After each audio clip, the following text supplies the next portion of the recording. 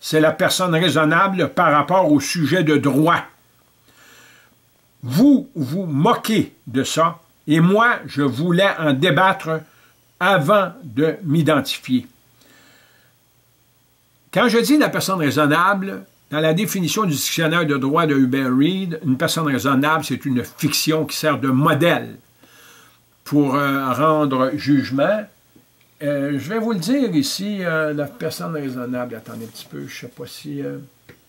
parce que j'avais ça tantôt. non. Mais d'une façon ou d'une autre, c'est pas même grave. Euh, c'est une, euh, la, personne raisonnable, c'est une fiction. C'est dans le dictionnaire de droit québécois et canadien de Hubert Donc, la Cour dit, Monsieur, là, moi, j'embarque tout de suite en disant, je vous demande tout simplement de vous récuser, c'est tout, dans le dossier. La Cour, je vous demande de vous identifier. Il me demande encore ça, là, le juge Gaëtan Dumas. Là, moi, je réponds, Jacques-Joseph Pierre-Antoine de la famille Normandin, représentant autorisé de Jacques Normandin dans le dossier 200-22-028-373-041. La Cour. Alors, là, je continue. C'est mon identité. La Cour. Seuls des avocats peuvent représenter d'autres personnes. Hey, écoute, pas des farces, hein? Pourtant, il est au courant de l'article 1 du Code civil qui dit que l'être humain possède la personnalité juridique. S'il la possède, normalement, il serait supposé de la représenter. Là, je, donc, moi, à mon tour, je lui dis, je vous remercie, c'est ça que je veux. La Cour, vous ne pouvez pas représenter le, là, il y a trois petits points, Jacques, votre, puis là, il y a une coupure de l'enregistrement. Euh, c'est tout. C'est tout ce qu'il a dit. J'aurais pu en dire plus que ça, parce que je lui ai dit euh, là-dedans qu'il euh, déconsidérait le juge Godbout. Ça, ça a tout été dit, mais ils l'ont pas mis dedans. Voyez-vous? Donc, le fait qu'il déconsidère le juge Godbout, déconsidère sa propre juridiction, puis je vais être devant la Cour du Québec. Ça, là, cet enregistrement-là, j'envoie ça à la Sûreté du Québec.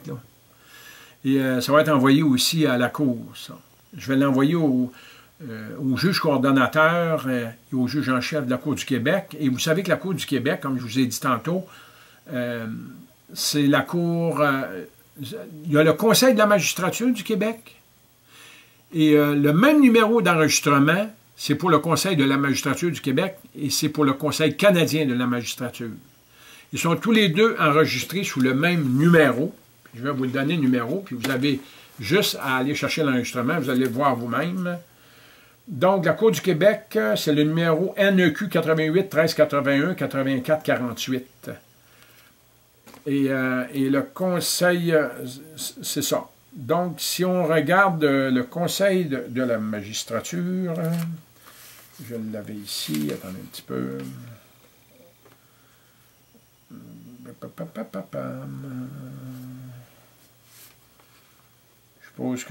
Conseil de la magistrature, c'est le numéro 88 1705 89 26. Ça, c'est le numéro d'entreprise du Conseil de la magistrature du Québec enregistré à Revenu Québec. C'est ça qui les considère, c'est ça qui les met en situation de conflit d'intérêt. Je surprends leur bonne foi. Je les mets en situation de conflit d'intérêt. Vous comprenez? Et quand vous lisez le rapport euh, de, Revenu Québec, du, du des entreprises de Revenu Québec, en français, c'est le Conseil de la magistrature du Québec. OK? Puis en anglais, c'est le Conseil canadien de la magistrature du Québec. C'est la même chose pour le barreau du Québec. Le barreau du Québec, qui porte le numéro NEQ 88 14 18 01 45. En français, c'est le barreau du Québec. Mais en anglais, c'est le barreau de la province de Québec. Voyez-vous comment ils peuvent être hypocrites? C'est pas compliqué. Donc, euh, si on regarde ça, vous avez vraiment euh, une lecture assez précise de ce qui se passe là-dedans. Et c'est juste correct parce que, justement, ça va être euh, la messe dans pas grand temps. Euh, je pourrais peut-être vous montrer certaines choses ici. Regardez bien ici.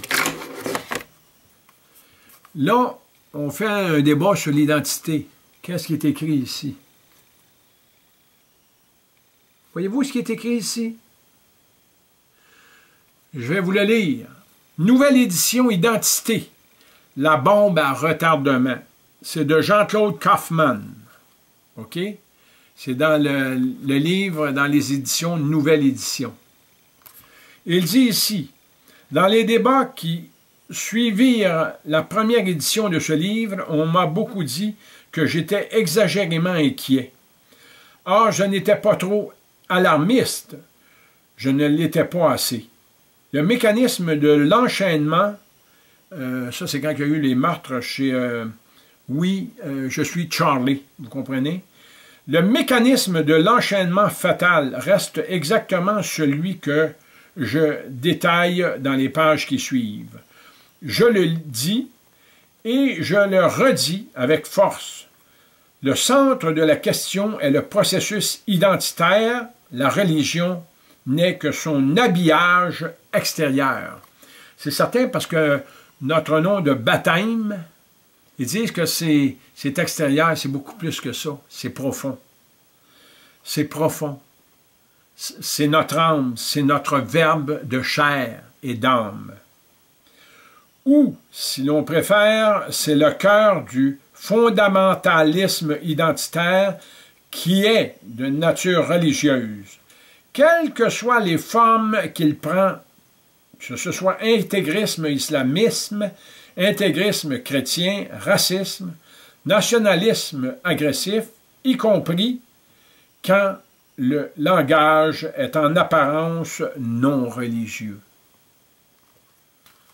Donc, euh, c'est vraiment un livre assez particulier. J'en ai un ici que je vais lire. Regardez bien ça ici. Une escroquerie légalisée d'Alain Deneau, précis sur les paradis fiscaux. Et ça, quand je vais l'avoir lu, moi, je m'en viens pour l'abolition de l'impôt sur le revenu au Québec. Donc, il n'y aura plus euh, personne qui va être obligé d'aller dans les paradis fiscaux. Et il va falloir rétablir le pouvoir exécutif de la reine ici. Je me suis constitué vice-roi. Oui, j'ai le sceau, j'ai tout ce qu'il faut. Je suis capable de servir le peuple. Et euh, je vais vous dire une chose, euh, être vice-roi, j'ai commencé mes 70 ans. J'en connais beaucoup. Je regarde ici ce qui se passe dans le dossier de, M. Guy Wallet. Je ne sais pas si... Euh, attendez un petit peu. Euh, j'ai bougé quelque chose que je n'avais pas à bouger. Regardez bien ça. Tiens, voilà ici. Donc, c'est Guy Wallet qu'on accuse ou qu'on s'excuse. Ça, là, c'est tout ce qui concerne l'UPAC, le dossier de Robert Lafrenière, tout ce qui concerne Nathalie Normando, tout ce qui concerne Jean Charest, tout ce qui concerne, si vous voulez, euh, l'arrêt Jordan, qui permet de déjudiciariser ou même de congédier ou de libérer des gens, des gens qui peuvent avoir commis n'importe quel crime en vertu du code criminel, n'importe quel crime en vertu du Code criminel, l'arrêt Jordan s'applique. Vous comprenez? Donc, euh, c'est pas compliqué, c'est comme ça que ça fonctionne ici. Et euh, euh, on sait ce qui s'est passé dans les jugements d'Éric Salvaille, d'Éric Lapointe et de Gilbert Rozon. Vous comprenez? Il y a des gens qui ne sont pas d'accord avec ça. Il y a des gens qui sont frustrés de ça. Et on voit actuellement dans ce fameux COVID-19, dans cette fausse pandémie. Je ne dis pas que le virus n'existe pas, il y en a d'autres qui vont sortir encore. On est en plein dans le temps du virus actuellement. Aujourd'hui, le 8 janvier 2021. Euh, Faites le tour des, hôpitaux, il n'y a personne dans les salles d'urgence. Ou à peu près personne. Alors que toutes les autres années, là, ce temps-ci, c'était 234-235% d'occupation dans les hôpitaux. Et là, on est confiné. On est confiné et le gouvernement décide qu'est-ce qu'on doit acheter, qu'est-ce qui est vraiment euh, euh, des besoins essentiels. Quels sont nos besoins essentiels? C'est le gouvernement qui vient de décider ça. Il fait n'importe quoi avec nous. Euh, ça a fonctionné. Il s'est rendu compte que ça a fonctionné. Et là, ben, je vais vous dire franchement, étant donné que ça a fonctionné, il y a le beau jeu, il peut faire n'importe quoi avec nous, s'en est rendu compte. Écoutez, il n'y a pas de monde ici. On n'est même pas la population de New York. Puis le Québec, euh, il rentre six fois le territoire de la France ici, au Québec. Puis ils sont 69 millions. Ici, on est 8 millions. Il y a plus de chefs qu'il y a d'Indiens. Avant ça, les commissions scolaires, toutes les municipalités avec les mairies, tout ce que vous voulez, euh, l'Assemblée nationale, euh, tout ce que vous voulez, mettez-en, mettez-en. Il y a 540 000 fonctionnaires ici. Il n'y a pas de monde. Il y a des ministres, il y a des députés, il y a 540 000 fonctionnaires payés par le gouvernement. C'est facile de faire ce qu'ils veulent ici. 540 euh, 000 fonctionnaires par rapport à à peu près 8 millions, c'est un gros pourcentage. Ça, ça veut dire que, attendez un petit peu, juste euh, faire une recherche euh, assez rapide. attendez un petit peu, je vais aller ici. Mettons...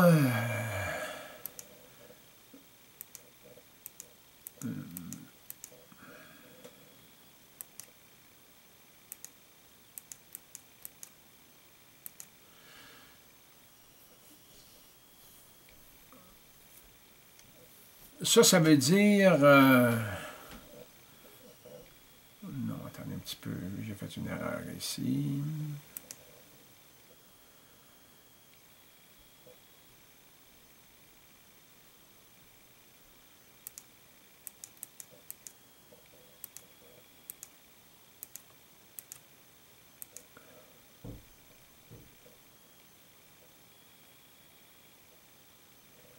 Voyons, voyons donc. Ma calculatrice va mal.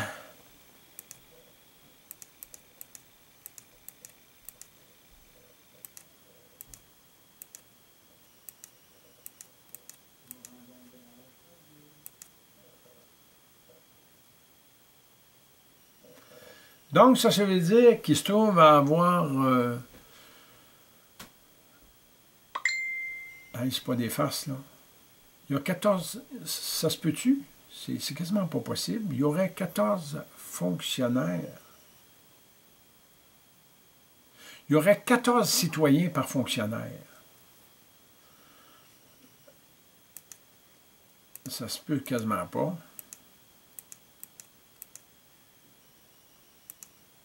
C'est ça. Ça, ça veut dire qu'il y a 14, il y a 14 justiciables par fonctionnaire au Québec. Ça, ça veut dire qu'aux États-Unis, ils sont 323 millions.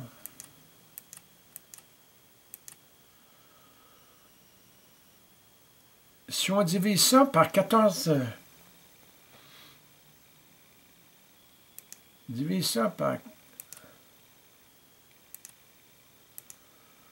Ça, ça veut dire qu'aux États-Unis, il y aurait 23 71 428 fonctionnaires pour tous les États-Unis.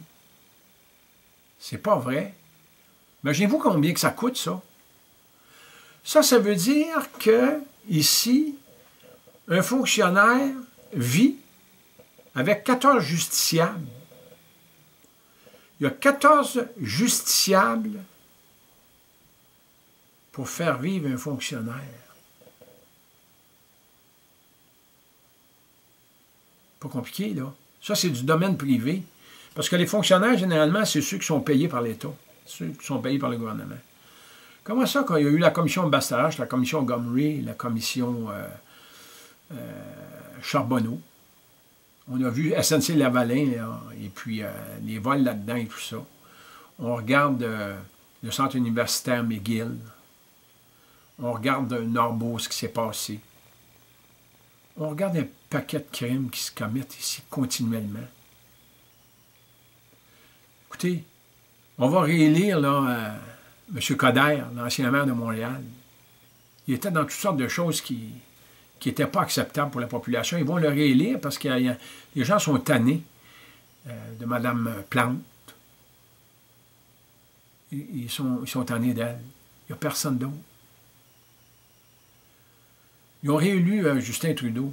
Écoutez, Justin, il n'y a pas personne qui pouvait imaginer qu'il pouvait être réélu.